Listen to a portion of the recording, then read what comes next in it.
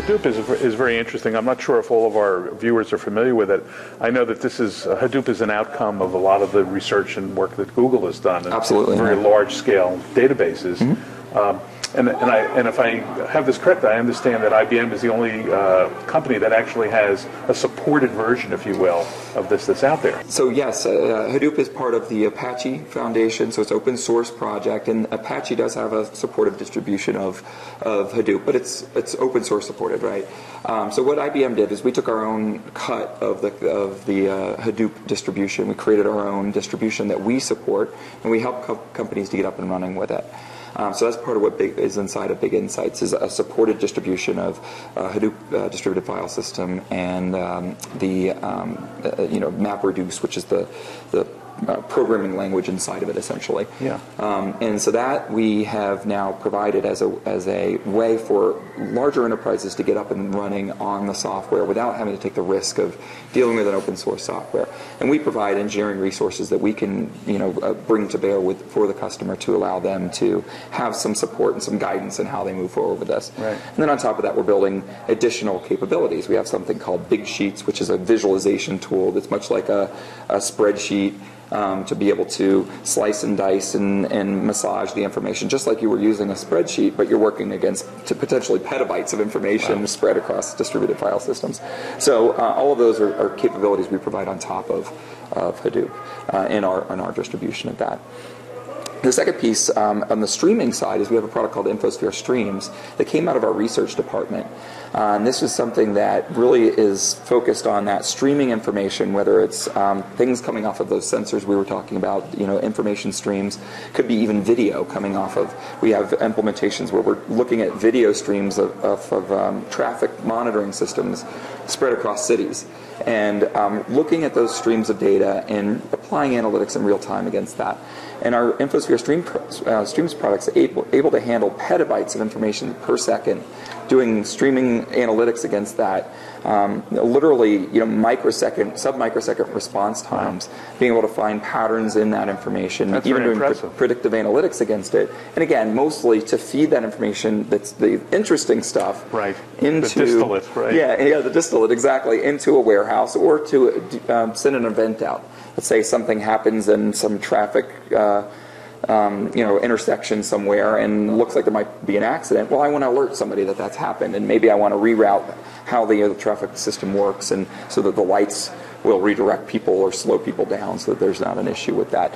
And th- those types of things are what we can do with streams. And I understand that massive amounts of data are really the key to Y- uh, getting to the root of these things. Yeah, you're just dealing with such huge volumes of information. In fact, uh, this week at the uh, keynote was the first time I saw the term zettabyte Yeah. on, a, on a slide, so, as opposed to hearing it. Yes, so I was pretty impressed. Yeah, you know, I had never, I didn't know quite how to spell it actually before we started talking about big data. So yeah, zettabytes are, are the new thing, and actually, um, there's one beyond that too that we've ta- started to talk about too. So zettabytes are, um, most companies are far away from zettabytes. Thankfully. But I tell you, you know, the the rate that information is doubling, Right. everybody's going to be dealing with petabytes where today they're in terabytes. Exactly. And I think you know, fairly quickly beyond that, there there will be some uh, zettabyte uh, level.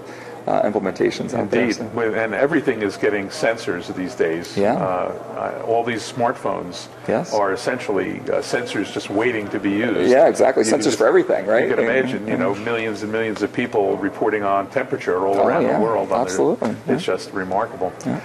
So, uh, what do you think the big challenge is for people who really would like to sort of dip their big toe in? I know large enterprises have been doing analytics for a long time. Yes. It's not a new business, it's not a new practice. Mm-hmm. Uh, but for smaller companies, even medium sized companies, they may not have really gone into it in a big way, in a strategic way. Yep. What would you suggest to them as a way to move forward? Well, it's interesting you, you mentioned that because I, you know, one of the things we found is mid-sized companies, especially and the, the small companies, maybe not so, not as much, but mid-sized companies that are that are in competitive markets, we found that analytics is a way that they can really differentiate themselves. Really? So, you know, it is even though you kind of think of it as a big company investment, it actually is extremely effective for the mid-sized companies as a way for them to be able to differentiate what they do. Right? The better they use information, the more they're going to look different than their peers. And they start to look bigger. Or yeah, they look bigger, and they can better, actually right. compete even with much bigger companies. Right. Um, now that said, it, it's a challenge to get started. So typically what we you know what we how we help companies get started is we, we do focus on trusted information we, we focus on establishing a foundation of trusted information and we of course have our infosphere platform for helping companies to understand what they have in their in their source systems, um, begin to uh, integrate it together, apply data quality to it. And, and, of course, data integration is still non-trivial. I mean, it's yes, still no, no, it's, a, it's still a, a work, fairly right? big project. But we do that through the lens of what I was talking about at the beginning, which of aligning the information to the business, ah, okay. right? And so part of the exercise that we help companies to go through is to say, okay, what are you trying to achieve, right? What are the key metrics, the key performance indicators, the key measures that you want to use to to uh, um, you know differentiate yourself or the things you want to analyze, whatever it happens to be. And we focus on those as the outcome. And we tie those then to a view of, okay, where do I find that information and how do I get that information to a state where I can actually deliver on that metric? So by choosing and being very selective as to what metrics I want to focus on and um, how I'm going to exactly attack that problem by looking at what I have in my source systems, you can be extremely focused and deliver value very quickly.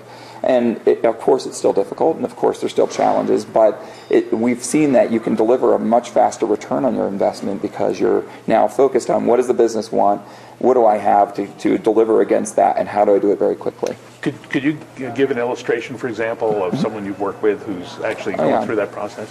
Yeah, so I mean, I can give you an example of an insurance company that, that I'm working with right now, actually, that's looking at um, how do I improve my agent effectiveness? So they're in uh, um, property and casualty insurance, and they have agents, you know, which are pretty much um, free agents, right? They do, they can go out and if they want to, they could go to a different insurance company and, and sell their. So product. these are independent. Agents. Independent agents, yes. yeah.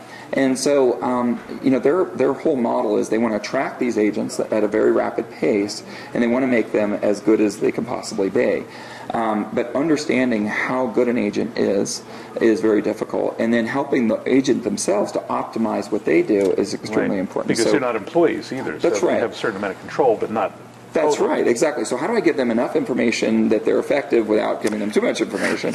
Um, and so they're really focused on several key metrics, and they've picked out um, you know a set of agent analytics um, that you know, agent me- measures essentially that measure the effectiveness of their agents, so that they can begin to tier them, and they can then offer a different level, differentiated level of service to their agents, depending on whether they're a bronze, silver, gold, platinum right. type of agent, and they can spend more time helping the ones that are doing well as silvers that want to go to gold um, and you know make sure that the platinums have everything they need and that they're happy, right? Right. And you know just know how to differentiate how they're working with their agents.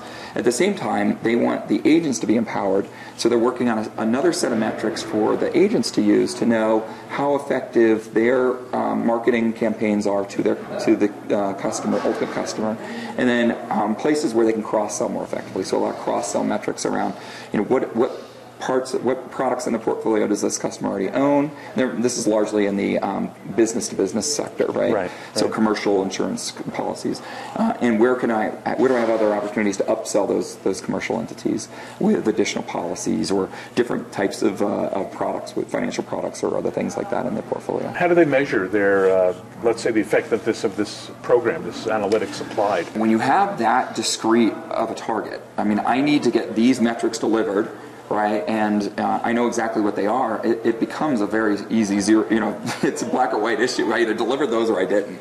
Uh, now, this company is actually also looking at the quality, and they're, they're very focused on the information quality that they deliver through those metrics. So they've actually got a program in place using our latest information server technology that allows them to see when they look at the metric, what's the quality of the information being delivered based on their quality. They have a set of quality rules that they've put in place, the quality standards that they've set in place for how good is the information that I'm using and those then are delivered as part of that metric. So not only do I know that this is the, the business metric that I'm deliver, that I'm delivering, but I actually have quality metrics about how good that information is, and so that's helping them as well to evaluate how well they're doing because that quality has to be at a certain level. Is it fair to ask how, how it's worked out? They're still in progress, obviously. I, I think so far what they've delivered to the agents, the first the first focus was actually on the agents themselves and delivering stuff because that they get the most value out of effective agents.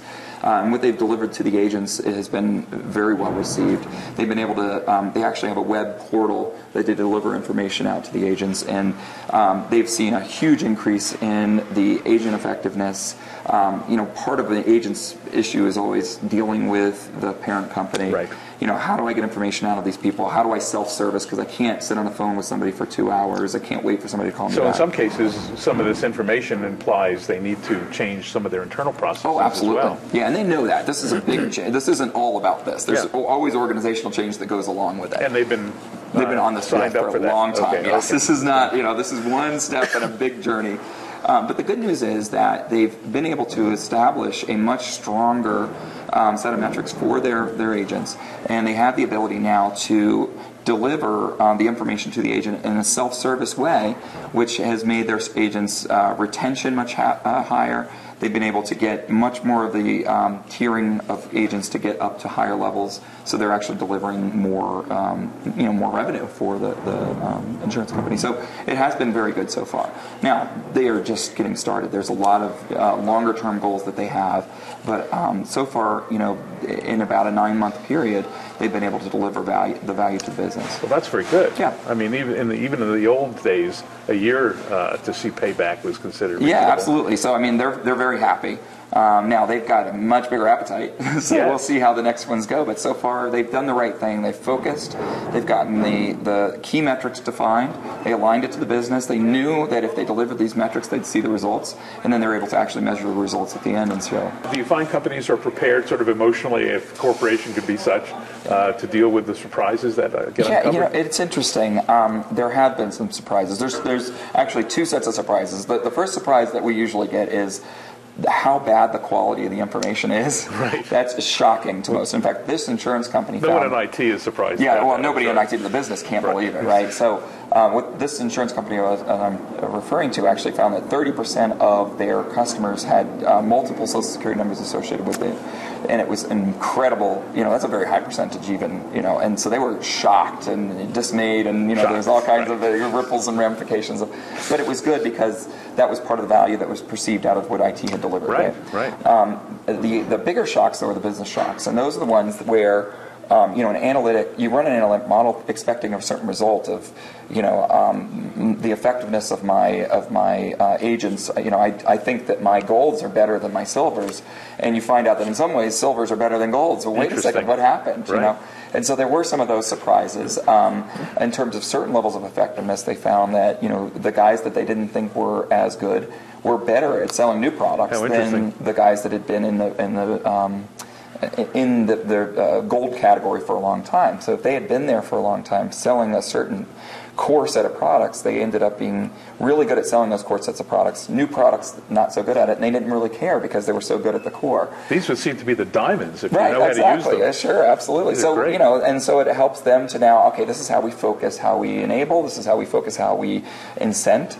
Um, so it really did help them um, to to focus their energy, and th- those types of surprises are good surprises, right? Indeed, Even if they're not exactly what you expect. Well, right? you know, if, if you're open-minded, though, the, these are the, the probably the most important things they can learn. Absolutely, absolutely. Well, Michael, I want to thank you very much for spending a few minutes with us and uh, sharing your insights and experiences. Well, thank Great. you for having me. It was my pleasure. Thanks, Michael. Take care.